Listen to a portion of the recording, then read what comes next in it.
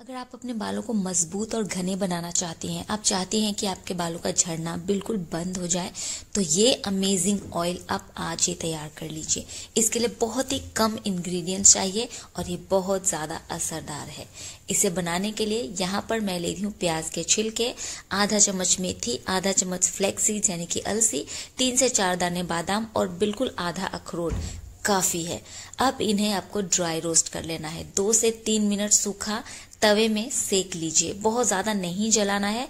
बहुत सारे लोग इंग्रेडिएंट्स को पूरी तरह से जला करके राख कर देते हैं ताकि उसका रंग ब्लैक हो जाए। उन्हें लगता है इसके साथ बालों का कलर काला हो जाएगा, पर ऐसा बिल्कुल भी नहीं करना है। इन्हें हल्का सा सेकना है। और फिर पीस करके इसका पाउडर तैयार कर लेना है। अब इसमें मिलाना है अपना मनपसंद हेयर ऑयल। मैं इसमें मिला रही हूँ सरसों का तेल। आप कोकोनट ऑयल या फिर आलमंड ऑयल भी मिला सकते हैं। अब इसे एक हफ़्ते के लिए धूप में रख दे और फिर छान करके इस ऑयल को शैम्पू से दो घंटे पहले कैल्प में लगा करके मसाज करें। बहुत अच्छे रिज़ल्ट हैं।